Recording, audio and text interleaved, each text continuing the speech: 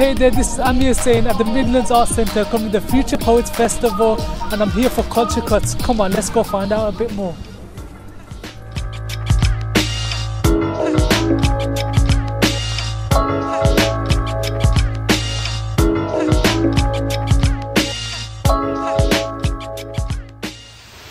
Ten young poets have created and designed the Future Poets Festival with help from professional poets and industry experts. The festival offers a program of workshops, exhibitions, installations, screenings, games, and open mic and performances for some of the best poets in the UK. I have Lexia, who's one of the future poets with me. So, so Lexia, how did this all come about? Um, we, as the young poets, uh, logged on to Ideas Tap, then we signed up for the brief, and then we applied and we got chosen. And since February, we've been organising the festival. And uh, what inspired you to to pick poetry? Um, 'Cause- we picked poetry because there's not enough of it. Like um, the poetry we get taught in school disengages young people, so we wanted to make something that was fun and innovative that would get young people to want to do poetry. Okay, thank you for your time. No problem. Cheers, man. Thank you. Once upon a time, in a land where the men tattoo love and hate both on one hand, they lived a family. The average fabric of a woman and man, a girl and a boy, a few toys and a cat. Her name was Whiskers. Some days they all sat happy together. Other days plates smashed on the wall after they got flung like a discus. After a fight, the dad would play a Black Sabbath into the night. The mom would blast Eurythmics in the kitchen. The kids would sit listening to both.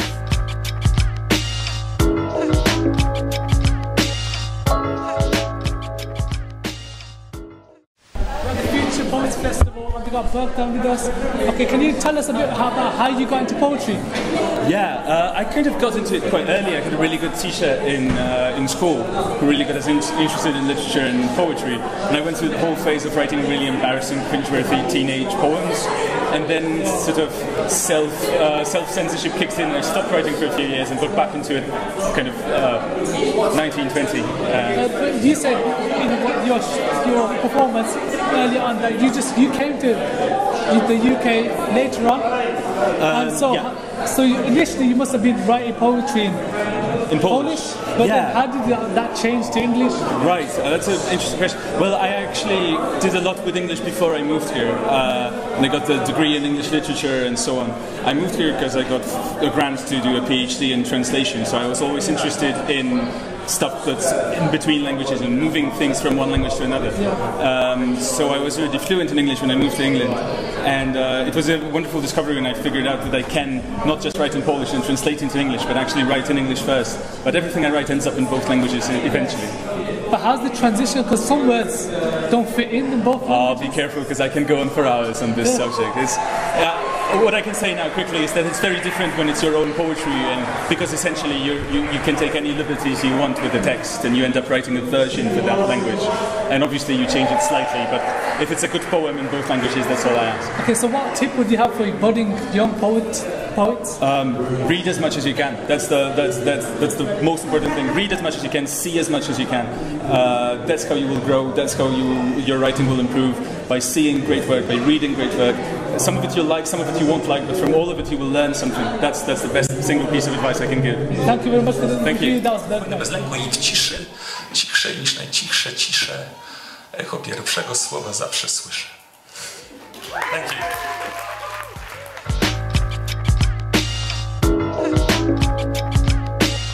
Okay, I have with me Carl here. He's one of the future poets.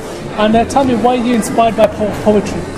Uh, well, the thing about poetry for me, rather than any other art form, is it feels more like a conversation between the people watching it and the people who are making it. I feel like, you know, with most like music and that kind of thing, you know, there's a kind of a fan mentality, but this feels a lot more like a conversation to me. Okay, so why did you go into poetry in the first place? Like, who, what inspired you in the first place? Yeah, okay. Um, it was about three years ago. I had a workshop with one of the headliners here called Polar Bear, and uh, it was initially just a storytelling workshop, but he just had such a peculiar way of doing it through spoken word, and it just hooked me instantly. That's uh, thank you for the interview, and uh, that's us.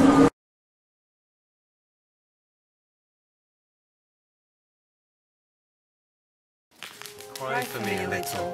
Think of me sometimes, but not too much. Think of me now and again, as I was in life. At some moments it's pleasant to recall, but not for long. Leave me in peace, and I shall leave you in peace. And while you live, let your thoughts be with the living. We have to think about how it made us feel Spoiled. when we go out. it's, quite a deep, it's quite a deep poem, isn't it? Yeah, it's really deep. Should we read it one more time? Just so we get it. We get it. Just try it one more time. Okay, one, two, three. When I am dead, cry for me a little. Think of me sometimes, but not too much. Think of me now and again, as I was in life. At some moments, it's pleasant to recall, but not for long. Leave me in peace, and I shall leave you in peace. And while you live, let your thoughts be with the living.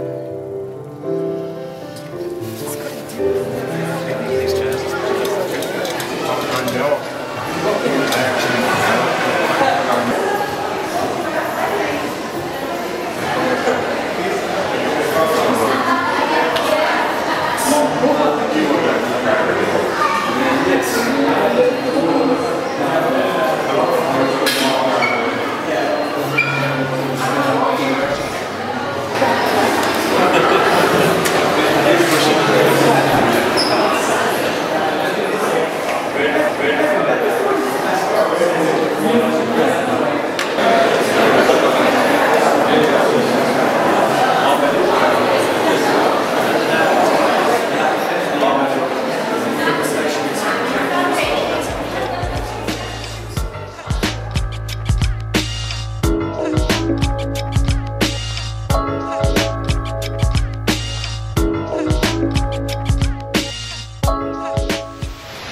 with the John Berkavitch, a poem for the Poetry Festival. And uh, can, can you tell us a bit more about what do you like about poetry? What's the Um, I think what I, what I like about poetry is it gives it gives everyone a chance to say what they think.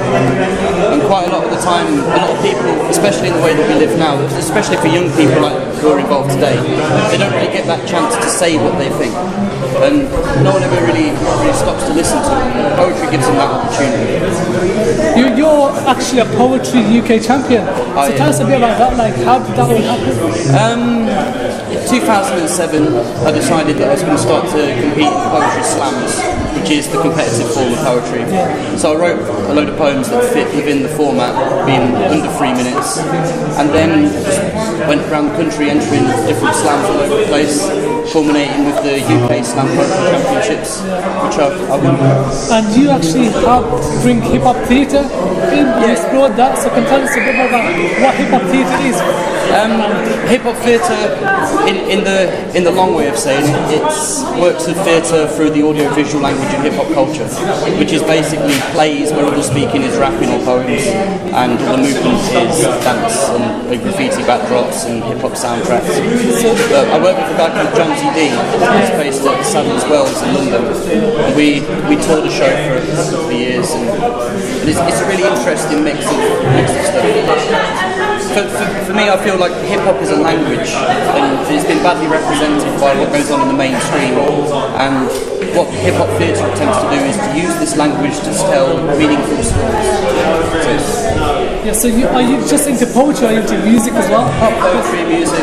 So do you actually write lyrics like for raps or? I've, I've, I've written lyrics, written raps. yeah. So, what, but what you prefer? There's, there's a slight sort of, sort of difference between poetry and rapping. I, I prefer the poetry stuff because the rap the rapping is very locked to a fixed beat, and it also, like I said, it's got very very sort of.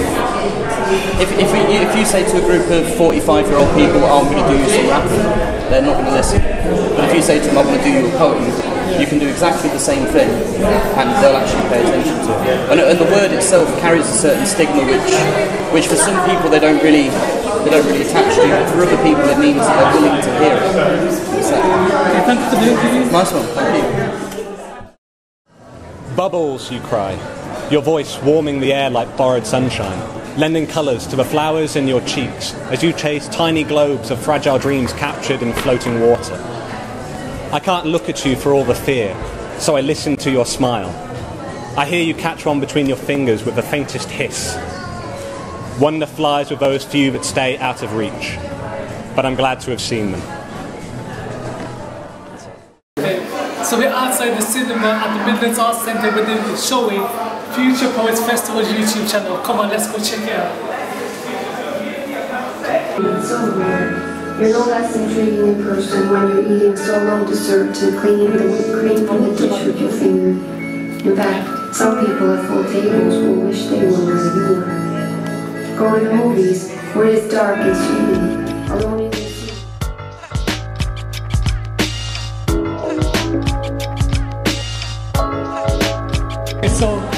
I've Polar Bear here with me and he's one of the main acts on the Future Poets Festival. And uh, how are you today? I'm very well, thank you. Okay, can, uh, can you tell me what inspired you to do poetry? Uh, Kim Trusty. Uh, can you tell me a bit more about it? Like, why was it the lyrical wordplay or? Actually, yeah, I've always loved words. I mean, I've been writing stories since I was little. But uh, it was it was an event a while now in the Glee Club in Brum, and I kind of went down and saw people doing stuff. A few of them are actually here today. The main one being Kim Trusty, and I became friends with her, and she started giving me little things, exercises to do, and we started spending time together and writing. And then I've just kind of fell for it. Yeah, so you never started that from a young age? Like, Um, spoken word stuff. No, I had no idea what spoken word was until I was 25. 25, so that's a pretty late. Yeah, of course. Most kids come in like. Yeah, of course. I mean, if I'd, if I'd have known, I mean, obviously I knew what poems were I, I, from school, and, but I never, I never read any poetry. But to this day, I don't. I'm, I like it's purely about writing stories for me. Yeah. Some of them I speak out in spoken word pieces, and other ones are longer. But it was about stories. Uh, but don't you think that there's a negative connotation towards poetry that the younger generations do have? Like, what's your Maybe. I mean, maybe, but you can say that about most things, I guess. I mean, I think that there's a negative, there's a negative kind of feeling towards being forced to do something. I guess. But that's that's anything. If you force to do, if you try and force me to read a poem, I'm not going to want to read it. I don't think it's against poetry as such, because there are there's amazing stuff. So I think it's more about the fact that you have to do it. Anything you have to do becomes less appealing than what you actually want to do. I think. That's totally fine. And uh, what what would your advice be to young poets who are coming up? Like, what what do you go through when you're writing a poem? How do you brainstorm? Do you have a, a thesaurus with you or a rhyming book? Or No, definitely not. Avoid them. Avoid a thesaurus. Avoid a rhyming book. I would say. I mean, just I, I, for me, it always starts with an image, and then I just see where it goes. If it goes somewhere, then it becomes a piece. If it doesn't go anywhere, it goes in the bin, and maybe comes out a bit later on. I'd say just read as much as you can, see as much as you can, then try and not copy anything. So it's more about the first initial idea. Definitely. Then yeah, the definitely. It's always an image. It's always an image. Always a detail, and then it kind of grows from there. because I love my city. My city ain't pretty, but I love it. You see me? I love my city. My city ain't pretty, but it's mine. My city gold plated my bones, so little bloods don't waste my time. My city raised me up to full grown man, and now I stand in my prime. Thanks. Sorry for sorry for the mouth.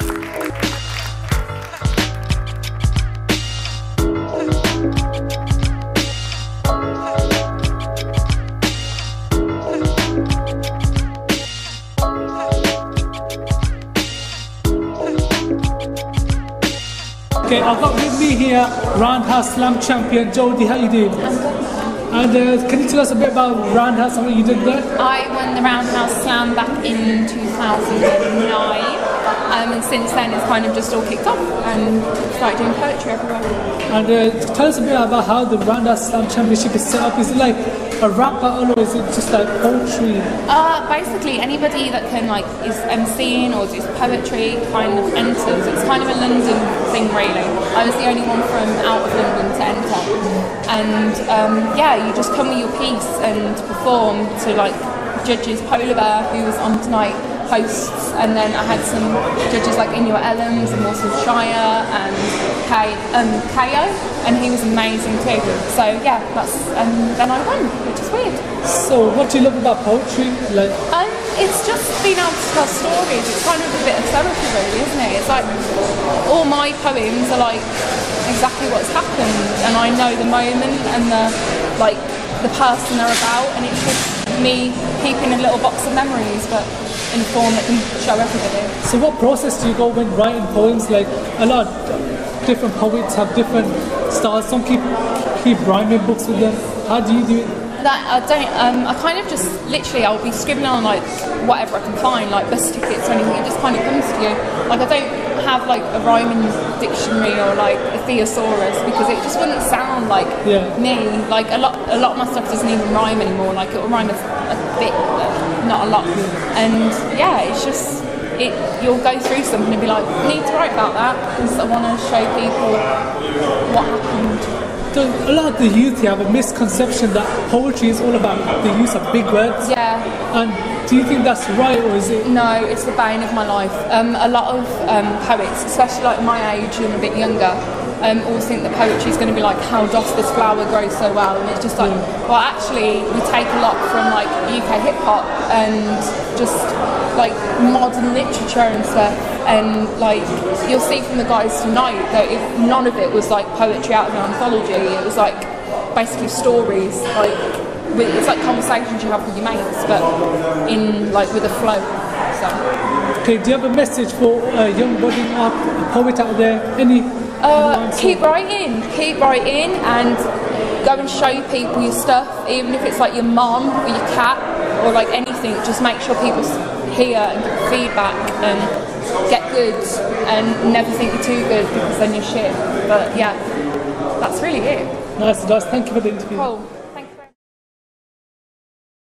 I think it's been a, a really amazing success, and I think the the strong component for me is just seeing those young group of spoken word artists holding themselves up on stage alongside a, stellar lineup. You know, let's not forget some of these guys who are on that stage tonight have got a wealth of experience. Well, I think we've kind of raised the appetite um, for this kind of event. Um, but of course, everything is fundraising for. So yeah, we need to. Um, I need to go away with Writing West Midlands and with some partners, and we need to put our heads together and figure out what's the next steps. But basically, we, there's no going back now. We have to carry this on, and we have to do something. amazing actually I'm, I'm really proud of them and certainly for me like dan said you know everything else that they did here today whether it was helping set up the open mic or the intimate Yeah. performances um, for me you know if they couldn't get on stage and deliver then for me it wouldn't have been such a great success but they did um, they just got up there and like dan said they were holding their own against people who have much more experience than them That's it for the Future Poets Festival. It's been a great day, and if you want to find out more about the performances, more about the artists, go to Youth Television. And uh, that's it from today. This is Aamir Hussain, and I'm out.